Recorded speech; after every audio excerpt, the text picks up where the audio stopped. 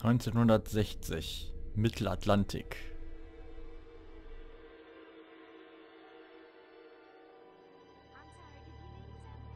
Als mich meine Eltern in das Flugzeug nach England setzten, wo ich meine Verwandtschaft besuchen sollte, sagten sie zu mir, Sohn, du bist etwas Besonderes. Du wirst große Taten vollbringen. Glauben Sie mir, sie hatten recht.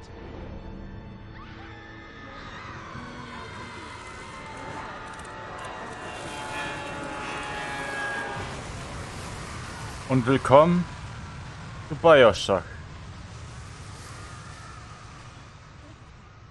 Nach sechs Jahren wird es mal wieder Zeit, Bioshock zu spielen.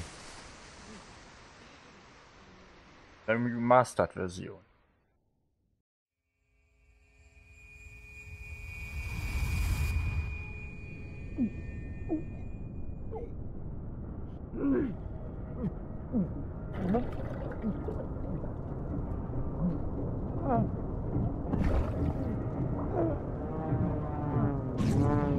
Das war knapp.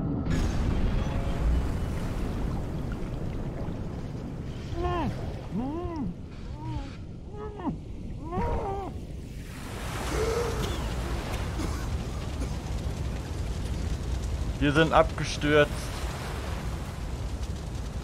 und suchen jetzt Flucht bei diesem Leuchtturm. Ich dachte mir, nach der ganzen Vier-Reihe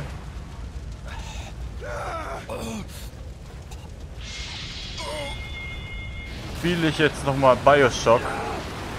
Denn wie sehr viele Videos von mir gehört auch Bioshock dazu, dass sie einfach schlecht waren.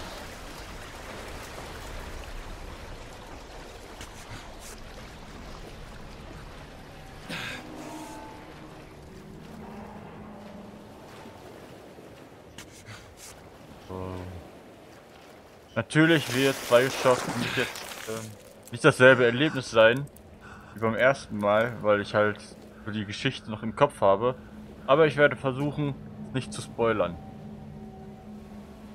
Keine Götter oder Könige, nur Menschen.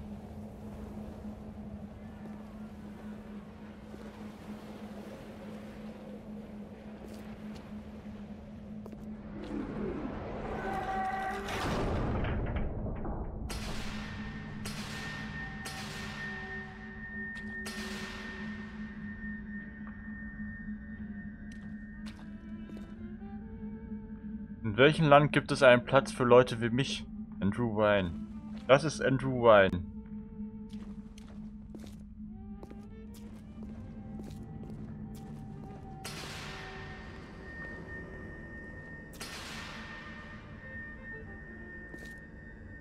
Die Sequenz, die gleich kommt, ist sehr schön. Ach, hier geht's lang.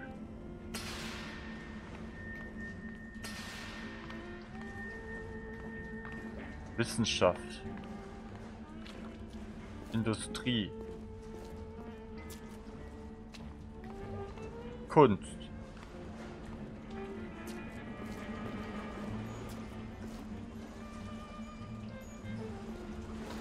Wir machen uns jetzt... Sag ich. Das seht ihr gleich. Tauchkugelhebel.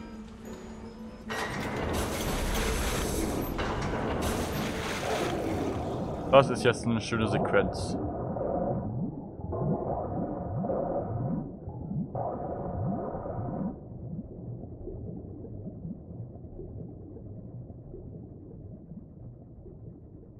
Steigen in die Tiefen des Ozeans.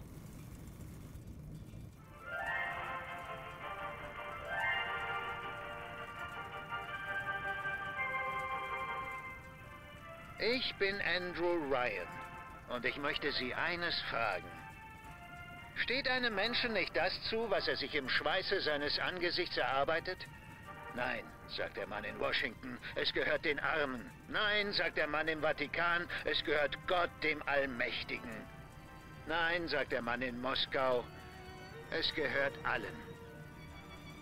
Ich konnte keine dieser Antworten akzeptieren. Stattdessen entschied ich mich für etwas anderes für etwas Unmögliches. Ich entschied mich für Rapture. Die Unterwasserstadt. Eine Stadt, in der der Künstler keine Zensur fürchten, der Wissenschaftler sich keiner engstirnigen Moral beugen muss, in der diejenigen, die zu Großem bestimmt sind, nicht durch die kleinen Lichter gebremst werden. Wenn auch sie im Schweiße ihres Angesichts für dies kämpfen, kann Rapture auch ihre Stadt werden. Sieht nun nicht mehr so belebt aus. Da sind wir am Big Daddy.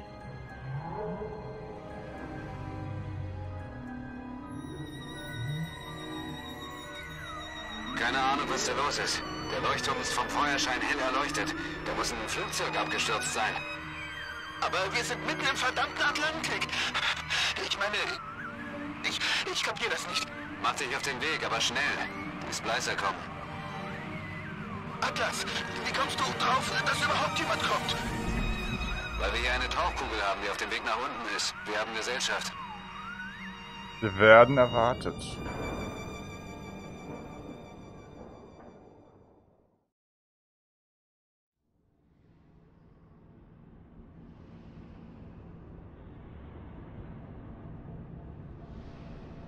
Du kannst das Spiel jederzeit über das Pause-Menü speichern. Gibt's heute nicht mehr so oft. Nur eine Minute noch. Ich sehe sie schon. Die Tauchkugel kommt jetzt hoch. Johnny, das Sicherheitssystem ballert alles über den Haufen. Beweg dich endlich!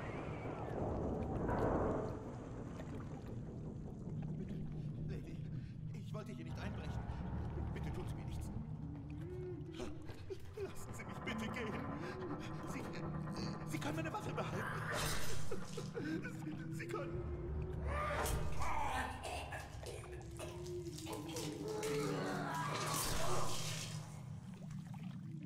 Weiblicher Splicer.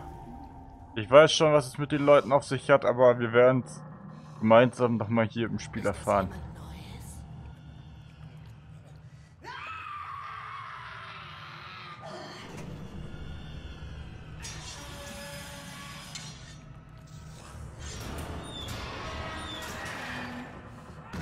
Wackelt sich an der Tauchkugel herum. Macht's kaputt.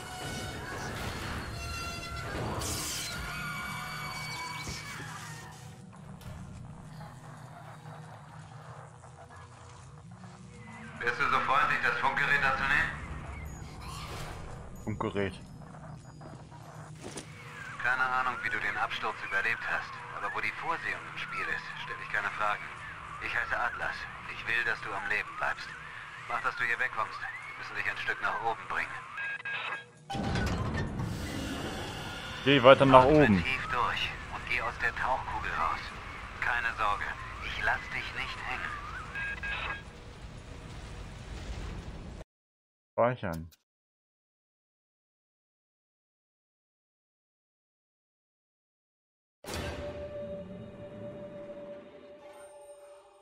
Für mich ist das jetzt der dritte Durchlauf vom Bioshock.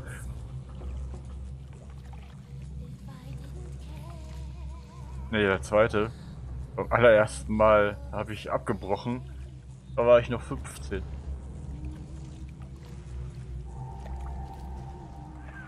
Wir müssen sie aus ihrem Versteck locken. Du wirst mir jetzt vertrauen müssen. Wir haben ja keine andere Wahl. Vita Chamber. Wenn wir sterben, dann ja, wollen wir da neu. Sollte es passieren, dass sich einer der feindseligen Bewohner von Rapture tötet, wirst du in der letzten Vita Chamber passiert hast, wiederbelebt. Ein Teil deiner Gesundheit wird dabei wiederhergestellt und du hältst immer auch zumindest eine kleine Menge Eve. Vita Chambers funktionieren automatisch. Sie müssen nicht aktiviert oder benutzt werden. Kommen wir später noch.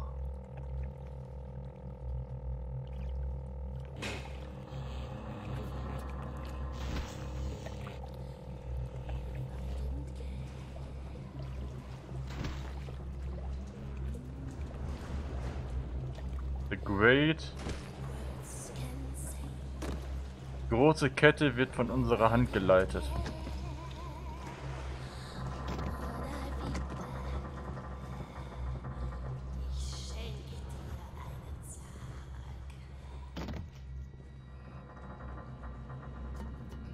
Vergleich mit dem Original ist das hier schon wieder sehr schön gemacht worden. Ich fand es ja ärgerlich, dass die Bioshock 2 Besitzer die Remastered-Version äh, kostenlos bekommen haben. Bioshock 1 Remastered musste man sich kaufen. Was ich jetzt natürlich gemacht habe, weil es im Sale war. Aber das Original von Bioshock war noch nicht auf Steam.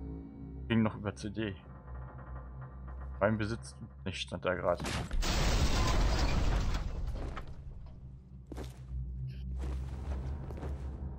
Drücke C, um aufzustehen. Oh, ich war die ganze Zeit geduckt.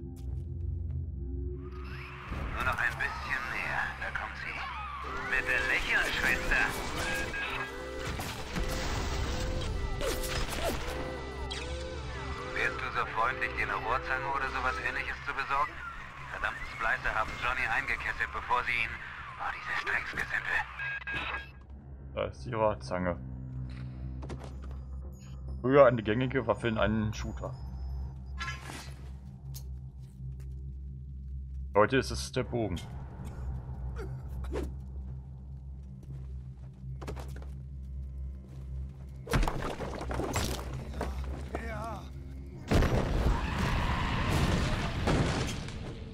Ist aggressiv.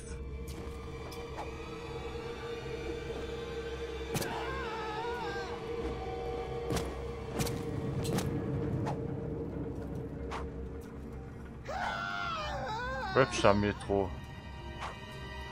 Nico Time Zigaretten. Junge, Junge, was für eine Show. Jeden Abend.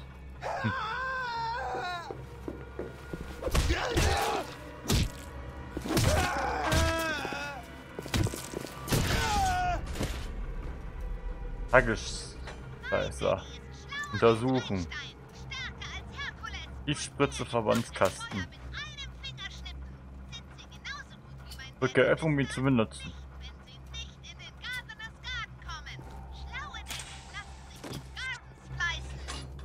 Rapture war mal eine schöne Metropole und nun etwas passiert. Bilden Sie Ihr Plasmid aus und entwickeln Sie sich weiter. Mein Kind, du hast es herausgefunden.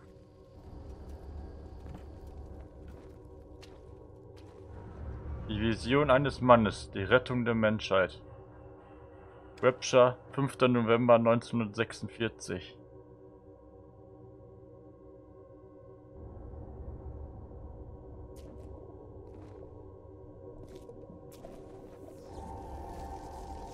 Gucken uns zuerst hier um.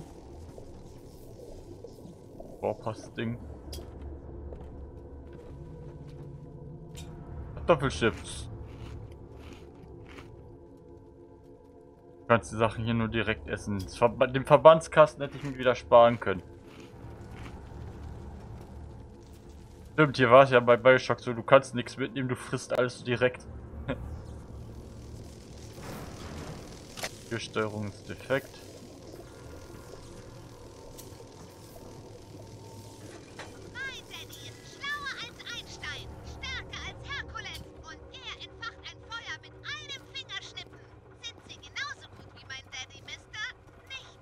Open Plasmid.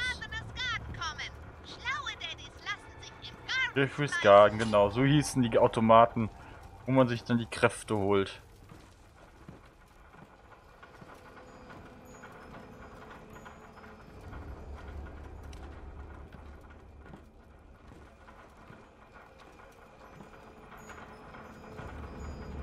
Elektrobolt.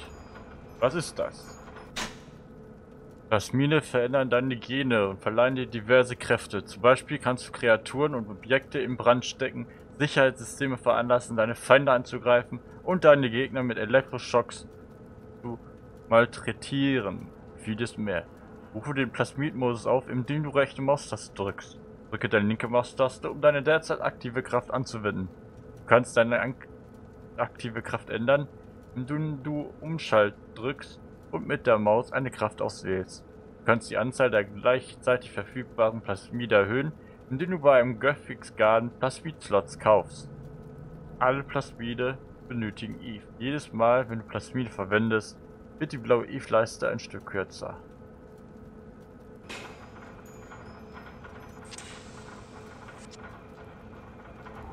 Jagen wir uns die Spritze ein.